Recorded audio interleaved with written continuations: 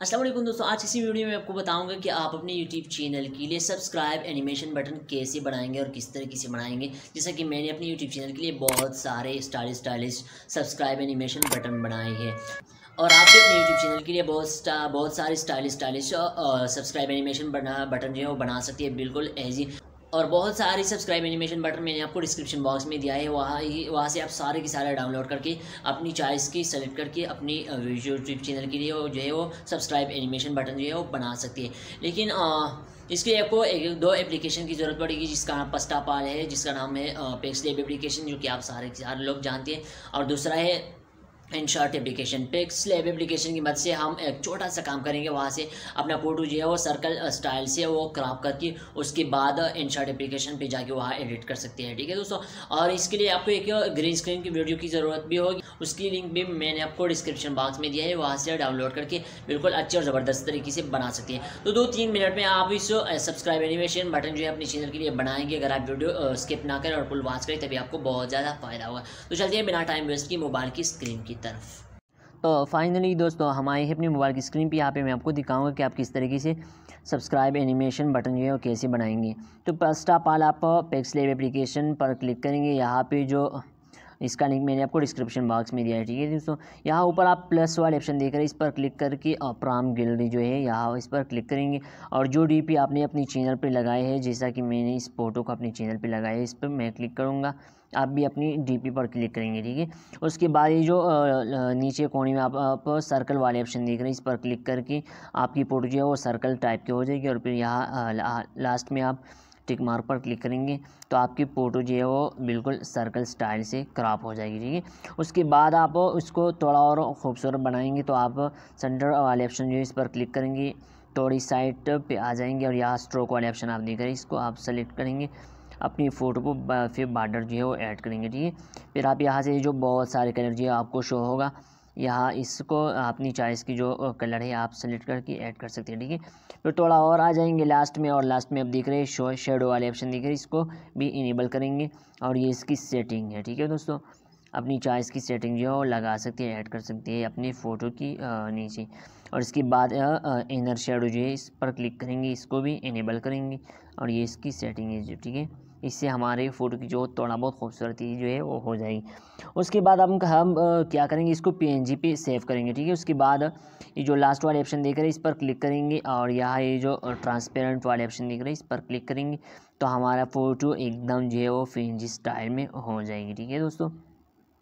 या इसके बाद हमारा पेक्स लेब एप्लीकेशन के अंदर हमारा काम ख़त्म और इसके बाद हम शेयर पर क्लिक करके यहाँ जो छोटा सा आइकन देख रहे हैं, इस पर क्लिक करेंगे। फिर आप लास्ट वाले अल्ट्रा जो है इस पर क्लिक करेंगे तो आपकी फ़ोटो जो है वो एच डी हो जाएगी और यहाँ सेव टू गैलरी पर क्लिक करेंगे, ठीक है? बस यही काम था। पेक्स लेब एप्लीकेशन के अंदर हो गया हमारा फ़ोटो सर्कल्स टाइप की।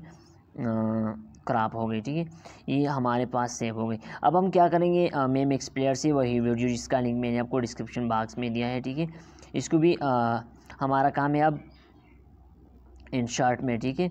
तो मैं क्या करता हूँ? इस वीडियो का लिंक मैंने आपको डिस्क्रिप्शन बॉक्स में दिया है इसको मैं इन शॉर्ट एप्लीकेशन के अंदर शेयर कर दूँगा ठीक है? इसको मैंने यहाँ पे शेयर कर दिया। शेयर करने के बाद यहाँ मैं इस पर क्लिक करता हूँ। इसकी जो फ़र्स्ट साइड इसको मैं थोड़ा बहुत जो है यहाँ से डिलीट करता हूँ। यहाँ पे आप देख रहे हैं मैं की बार आपको प्ले करता हूँ।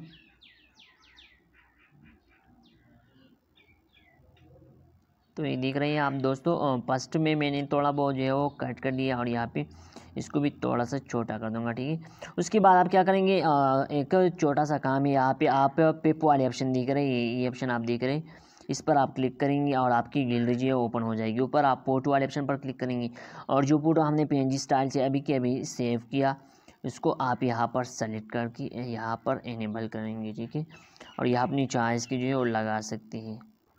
तो ये देखो दोस्तों कितनी ज़बरदस्त तरीके से हमारा फ़ोटो जो है वो यहाँ पे ऐड हो सकता है, ठीक है? आप अपनी चॉइस की जो है वो लगाएँगे। इसको मैंने यहाँ पे लगा दिया, ठीक है? मैं इसको थोड़ा और बड़ा कर दूँगा तो ये बिल्कुल ज़बरदस्त तरीके से आ जाएगी। ये देखो कितनी ज़बरदस्त तरीके से। अब जितनी साइज़ वीडियो की है, उतनी साइज़ हम अपनी फ़ोटो की भी जो है वो लगाएँगे ऐड करेंगे, ठीक है दोस्तों? अब यहाँ पे मैं आपको एक बार प्ले करता हूँ, ठीक है?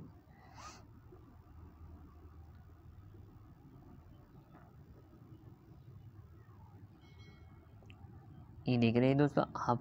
इसके बाद आप क्लिक पर क्लिक करेंगे और यहाँ सेव वाले ऑप्शन आप देख रहे हैं, हज़ार में जो है अपना वीडियो को सेव करेंगे, ठीक है?